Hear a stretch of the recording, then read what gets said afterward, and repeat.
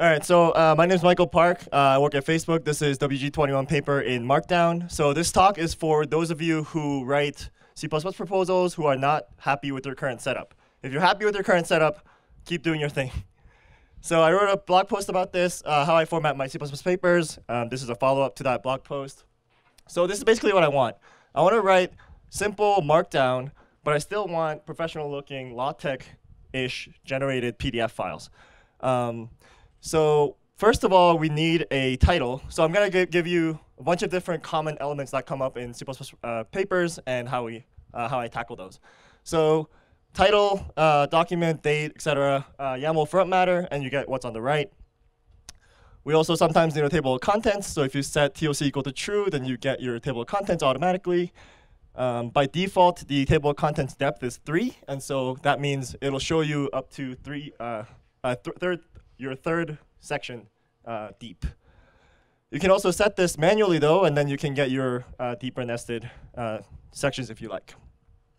For shorter papers, oftentimes you don't actually don't need a table of contents, so you can just set TOC equal to false, and then you don't uh, get a table of contents, and you go straight into your paper.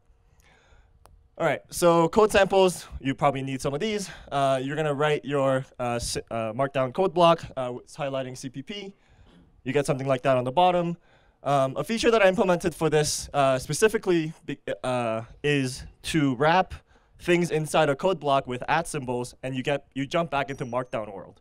And so, uh, oftentimes we find ourselves having to italicize uh, parts of code uh, for exposition only and things like that, and you can and you can jump back into Markdown to get uh, to customize things inside verbatim mode, which is pretty cool. Okay, so this is how you write a diff.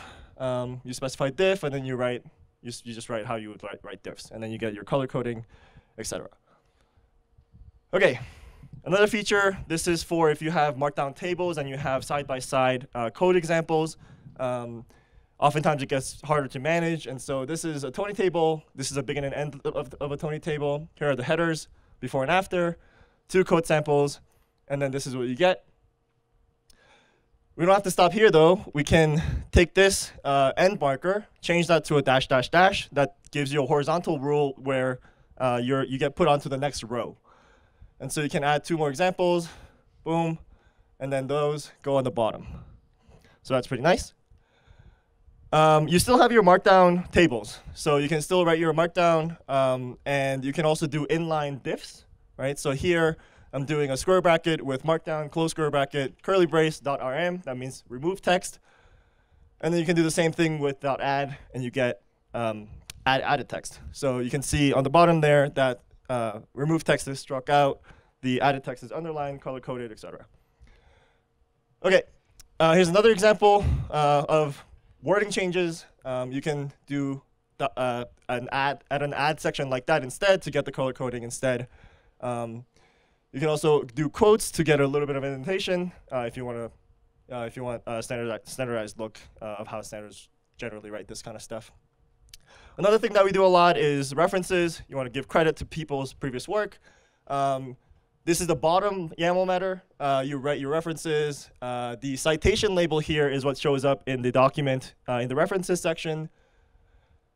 And then in your actual document, document, you will cite the reference with an at sign closed by curly, uh, curly square brackets, uh, and the ID is what you use to cite that reference.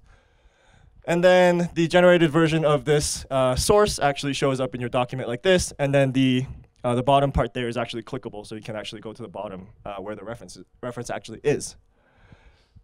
And in all of that, what you have to remember is that the, the ultimate goal is to get markdown, right? The simplest thing is to just get underscores uh, wrapping italicized, uh, the back quotes to get code, uh, code samples and uh, inline code and things like that. Um, so that's basically it. You can go to this URL and check out the, uh, the framework. Uh, pretty e easy to use. You can also come to me and I can help you get it set up as well if you want. So thanks.